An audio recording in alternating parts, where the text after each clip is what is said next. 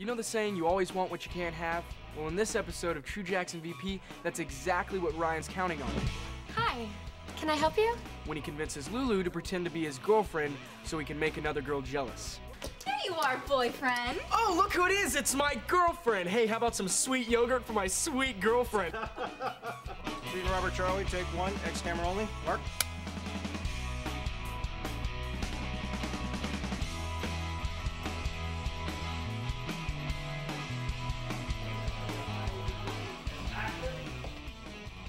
Great. You were great. In this episode, Ryan reads in a magazine that the best way to get a girl is to pretend that you're unavailable. So I pretend to be Ryan's girlfriend, and we go to the Happy Berry Yum Yum yogurt shop.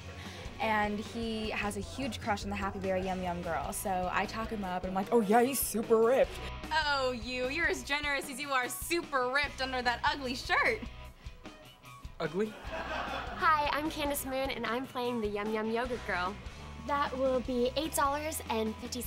Great. You got any money on Conda Tapped? What I feel is going on here is that Ryan has a little bit of a crush on the Yum Yum Yogurt Girl. We're kind of a good couple. I know, right? Hey, she's looking at us. Quick, feed me some yogurt, real romantic like. I think she's oblivious to it. She's just doing her job, being sweet to the customers, and I think he reads into it just a little bit much. Oh, my little yogurt goddess.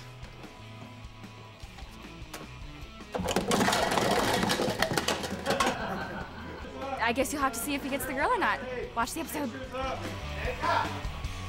You know, I'm beginning to realize that Ryan is full of bad ideas. Check back for more extra scoops right here on TurboNick.